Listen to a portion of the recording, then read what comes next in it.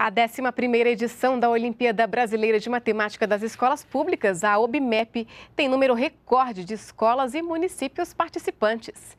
Mais de 47 mil escolas em 99% dos municípios do país vão participar da competição, que avalia os conhecimentos matemáticos de alunos do ensino fundamental ao médio. A prova da primeira fase está marcada para o dia 2 de junho e o resultado final da competição será divulgado no final de novembro.